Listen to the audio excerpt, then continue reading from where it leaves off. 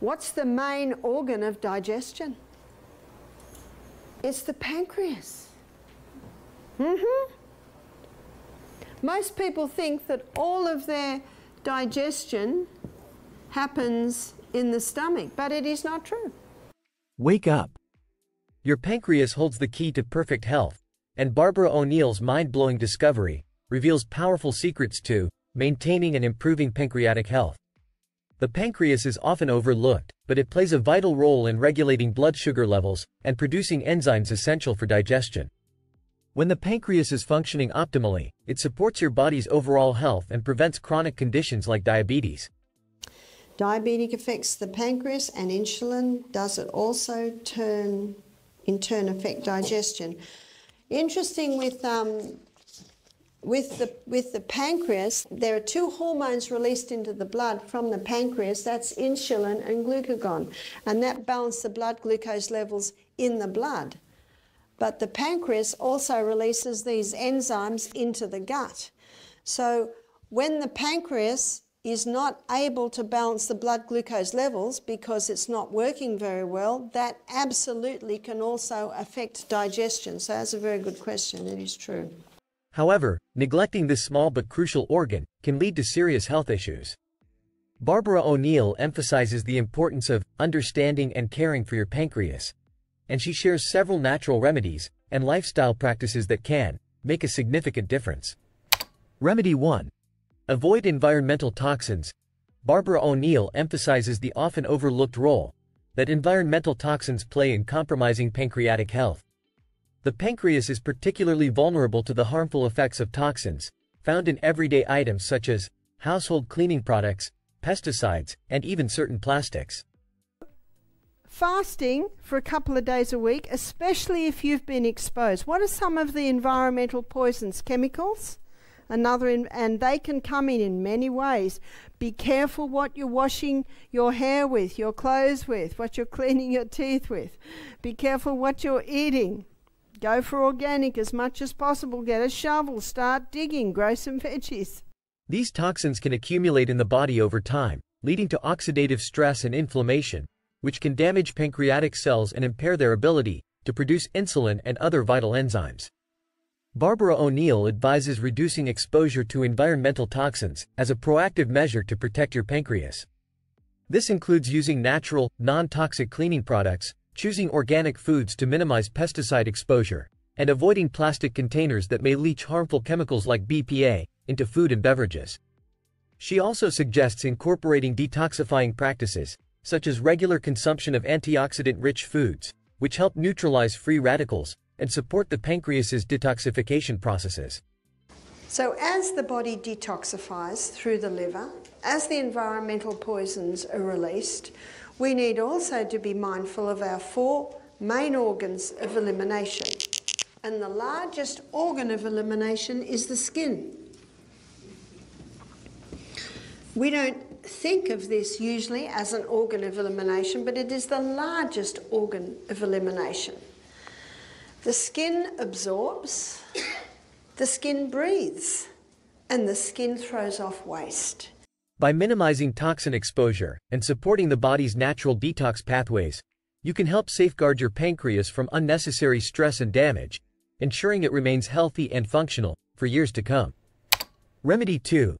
Incorporate bitter foods into your diet. Barbara O'Neill sheds light on the lesser-known benefits of incorporating bitter foods into your diet for pancreatic health, revealing their multifaceted role in supporting digestion, detoxification, and metabolic balance. Bitter foods, such as dandelion greens, bitter melon, and arugula, have long been used in traditional medicine for their ability to stimulate the digestive system, but their benefits extend far beyond that. And I'm going to give you the recipe, and this tea has healed many a low hydrochloric acid. It is one part uh, one part dandelion. Dandelion is a bitter herb. We learnt about dandelion this morning in our herb lecture. One part gentian. Gentian is, is an incredibly bitter herb. One part licorice. And licorice is a herb that has an emollient, and that emollient helps to to coat the stomach and half a part of a very expensive herb called golden seal. And golden seal has a nickname, and that nickname is King of Tonics to all mucous membranes. Dandelion, gentian, licorice, and golden seal are all roots, and you need to boil roots. So the recipe, here's the recipe. So you buy these dried herbs and you put them all in a jar. You make up a whole jar. So the recipe is one teaspoon of this herb mix, we'll say herbs, and one teaspoon of ginger, fresh ginger. So the fresh ginger can be grated or it can be uh, chopped into small pieces. Two cups of water. And then that is a gentle simmer. So simmer for 10 minutes.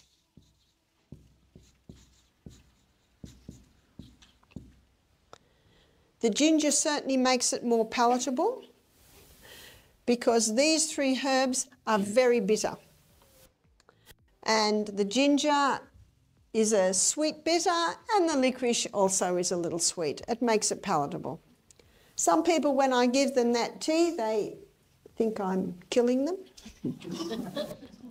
These bitter foods work by promoting the production of bile in the liver and pancreatic enzymes, both of which are crucial for the effective digestion of fats, proteins, and carbohydrates. Bile, produced by the liver and stored in the gallbladder, emulsifies fats, making them easier to break down and absorb. Meanwhile, pancreatic enzymes like lipase, protease, and amylase are responsible for breaking down fats, proteins, and carbohydrates, respectively. When these processes are functioning optimally, the pancreas can operate more efficiently, reducing the risk of digestive issues, such as bloating, indigestion, and fat malabsorption, which can otherwise place undue stress on the pancreas. And she was living a much happier environment, but her stomach function still wasn't working.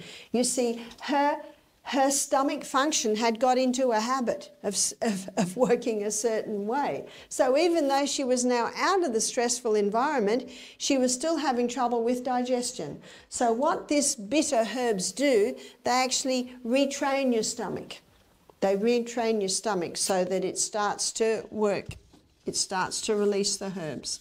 And of course, at the same time, don't drink with the meals. But the benefits of bitter foods go even further. Barbara O'Neill emphasizes that by enhancing bile and enzyme production, bitter foods also support the body's natural detoxification processes. Bile acts as a carrier for toxins, helping to eliminate them from the body through the digestive tract. This detoxifying effect is particularly important in the modern world, where the pancreas is often burdened by environmental toxins, processed foods, and a high sugar diet. By incorporating bitter foods into your daily meals, you assist your pancreas in managing and neutralizing these toxins, preventing them from accumulating and causing harm. And made it a hot, bitter tea. And when that bitter tea is in the mouth, it's already stimulating. The message goes to the brain, the liver starts releasing more, the, your parietal glands, the glands in your stomach start releasing the digestive enzymes. Moreover, the bitter compounds in these foods can help regulate appetite and reduce cravings for sugary foods. This is especially significant because excessive sugar intake is a major contributor to pancreatic stress and the development of insulin resistance. By curbing sugar cravings, bitter foods indirectly help to stabilize blood sugar levels, reduce the demand for insulin production, and ultimately protect the pancreas from overwork. This balancing effect on blood sugar is a critical factor in preventing and managing conditions like type 2 diabetes, which is becoming increasingly prevalent, due to poor dietary habits. Barbara O'Neill also highlights that bitter foods can improve gut health by promoting the growth of beneficial gut bacteria. A healthy gut microbiome is essential for overall digestive health and can reduce inflammation throughout the body, including in the pancreas. Chronic inflammation is a key factor in the development of many metabolic disorders, and by supporting gut health, bitter foods help to create an internal environment that is conducive to pancreatic health and overall well-being. Incorporating bitter foods into your diet may require some adjustment, especially if your palate is accustomed to sweeter flavors. However, the benefits far outweigh the initial challenge. Barbara O'Neill suggests starting with small amounts of bitter greens in salads, smoothies, or as a garnish, gradually increasing your intake as your taste buds adapt. You can also explore various recipes that combine bitter foods with other flavors to create balanced, nutritious meals that are not only good for your pancreas, but also enjoyable to eat. Remedy 3. Start intermittent fasting. Barbara O'Neill emphasizes the powerful impact of intermittent fasting on pancreatic health, a practice that goes beyond simply reducing calorie intake. So the bad breath, yes, it's because something's not right down in there. There is a cleansing process that is necessary. And one of the most fascinating ways to do this cleansing is fasting. Intermittent fasting involves alternating periods of eating and fasting, which can vary in duration depending on the method you choose. This eating pattern not only aids in weight management but also provides significant benefits to the pancreas by reducing the constant demand for insulin production. When you eat frequently throughout the day, your pancreas is continually stimulated to produce insulin to manage the influx of glucose into your bloodstream. Over time, this constant demand can lead to insulin resistance, where the body's cells become less responsive to insulin, forcing the pancreas to produce even more to keep blood sugar levels in check. This cycle can exhaust the pancreas, contributing to the development of type 2 diabetes. Barbara O'Neill explains that intermittent fasting allows the pancreas to rest during fasting periods, reducing the need for insulin production and giving the organ time to recover and regenerate. During fasting, the body shifts from using glucose as its primary energy source to burning stored fat for fuel, a process known as ketosis. This metabolic shift not only helps in reducing excess body fat, but also decreases the levels of circulating insulin, which is beneficial for the pancreas. Lower insulin levels reduce the risk of insulin resistance and help the pancreas function more efficiently. Barbara O'Neill notes that this process also improves insulin sensitivity, meaning that when you do eat, your body requires less insulin to manage blood sugar levels, easing the burden on the pancreas. Intermittent fasting also triggers a process called autophagy, where the body cleans out damaged cells, and regenerates new ones. Barbara O'Neill highlights that autophagy is particularly beneficial for the pancreas as it helps to clear out damaged pancreatic cells, reducing inflammation and supporting the organ's overall health.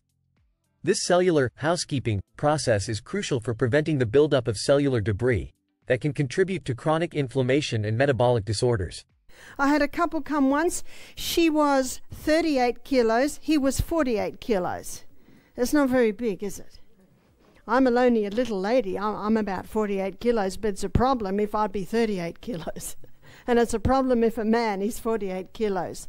They said, please don't fast us. We're so thin as it is. I said, I need to fast you. Because one of the problems is your gut is not working and it needs a break. Mm-hmm. It needs a break a very important law of health is rest. Oh, how many people lay down to sleep at night and there's one organ that is not resting? it is the stomach. Additionally, Barbara O'Neill points out that intermittent fasting can help regulate appetite and reduce cravings for unhealthy, high sugar foods. By stabilizing blood sugar levels and reducing the frequency of eating, Intermittent fasting minimizes the spikes and crashes in glucose levels that often lead to overeating and poor food choices. This not only protects the pancreas from the strain of constant insulin production, but also supports overall metabolic health. While intermittent fasting may seem challenging at first, Barbara O'Neill advises starting with a simple fasting window, such as the 16 by 8 method, where you fast for 16 hours and eat during an 8-hour window. Gradually, as your body adapts, you can experiment with longer fasting periods that suit your lifestyle and health goals. Fasting has been done for centuries all through Europe and has been well known to be a, a trigger to bring about healing processes in the body. So, what I'd like to look at in this presentation is fasting, what it is, and the effect that it has on the body. And research is coming out today that is revealing that fasting is doing far more than most people thought. So I'd like to have a look at the different types of fasting. But first of all, what is fasting? Fasting basically in the dictionary says absence of food. It's important to maintain a balanced, nutrient-rich diet during eating windows to ensure that your body, including your pancreas, receives the necessary nutrients for optimal function. Remedy 4. Incorporate probiotic-rich foods into your diet. Barbara O'Neill highlights the often overlooked connection between gut health and pancreatic function, emphasizing the importance of incorporating probiotic-rich foods into your diet. The gut microbiome, which consists of trillions of bacteria, plays a crucial role in digestion, immunity, and even the regulation of blood sugar levels. A healthy balance of gut bacteria supports the pancreas by enhancing digestion and reducing inflammation, which can otherwise strain this vital organ. One of the best cultured foods is sauerkraut. And when you culture a food, you increase the B vitamins in them. So it is a good idea to include some cultured foods. What would be cultured foods? Sauerkraut. Can do the sauerkraut, and you can also do um, miso, which is like a soybean paste. It's also a cultured food. And your sourdough breads are cultured foods. Probiotic-rich foods such as yogurt, kefir, sauerkraut, kimchi, and miso are teeming with beneficial bacteria that help maintain a balanced gut microbiome. Barbara O'Neill explains that these probiotics assist in the digestion and absorption of nutrients, reducing the workload on the pancreas. When the gut is healthy and functioning optimally, it can efficiently break down food and absorb nutrients, minimizing the need for the pancreas to produce excessive digestive enzymes. Moreover, a healthy gut microbiome plays a significant role in modulating inflammation, a key factor in the development of chronic diseases, such as type 2 diabetes. Inflammation in the gut can lead to systemic inflammation, which negatively impacts the pancreas, leading to insulin resistance and other metabolic issues. By regularly consuming probiotic-rich foods, you help to maintain an anti-inflammatory environment in the gut, which in turn supports pancreatic health and reduces the risk of metabolic disorders. Number one, probiotic. Now, the best time to take a probiotic is three quarters of an hour before breakfast because we want it to go all the way down there. And remember what I said in the morning your pyloric sphincter is open. If you take it with the meal, the pyloric sphincter is shut. And if you've got nice, strong hydrochloric acid, it could actually successfully just about wipe it out. So we want your probiotic to go all the way down here, which it will do if you have it early in the morning.